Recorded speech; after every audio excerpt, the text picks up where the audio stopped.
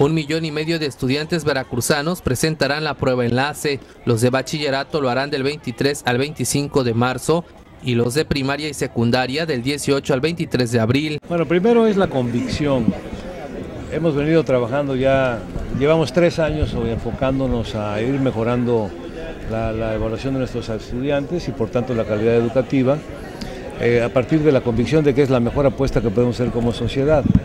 Si queremos un Veracruz próspero en lo individual y en lo colectivo, tenemos que simple y llanamente meterle muchas ganas a la educación. Es la mejor herramienta para la prosperidad. Durante la reunión que se realizó en el marco del programa 2010 Bicentenario de la Independencia y Centenario de la Revolución Mexicana, año del desempeño escolar, los padres de familia, supervisores escolares, jefes de sector, inspectores, maestros y directores fueron exhortados a motivar a los estudiantes para que presenten este examen y se obtengan las mejores calificaciones. Una parte es la, la convicción, es fundamental de todo el mundo, y luego ya, pues el estímulo es un complemento adicional, pero es más importante trabajar enfocado a los valores que a los, a los premios materiales. ¿no?